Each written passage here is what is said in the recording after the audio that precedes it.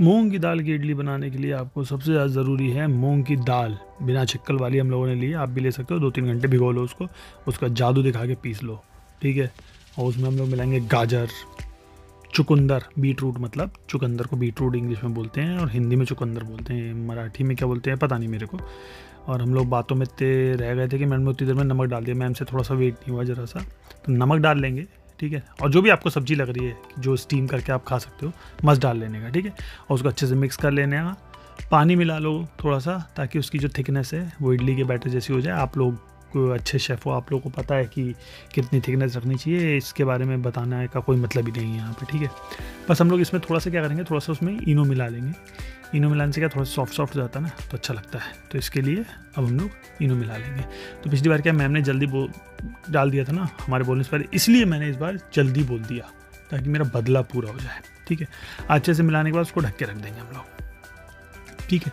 और side by side parallelly अब जब वो ढका हुआ है तो हम लोग उतनी देर इसकी तड़के की तैयारी कर लेंगे। तेल में मतलब तेल मतलब घी है बेसिकली घी में हम लोगों ने ड्राई डाल ली है, हींग डाल दिए थोड़ा सा और थोड़ा सा कड़ी पत्ता डाल देंगे, ठीक है। सब कुछ थोड़ा थोड़ा आप लोगों को पता है, सब कुछ स्वाद अनुसार चल रहा है यहाँ पे।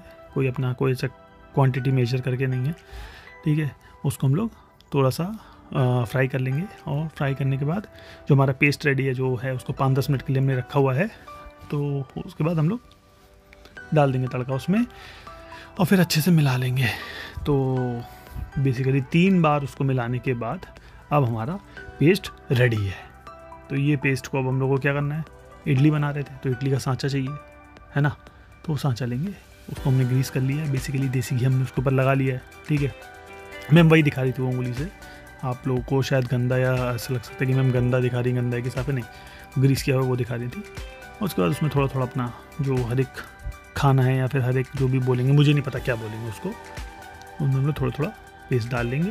और पेस्ट डालने के बाद फिर आप लोगों को पता है, जो स्टीम करने के लिए उसका भगोने जैसा रहता है, बड़ा सा उसमें रख देंगे।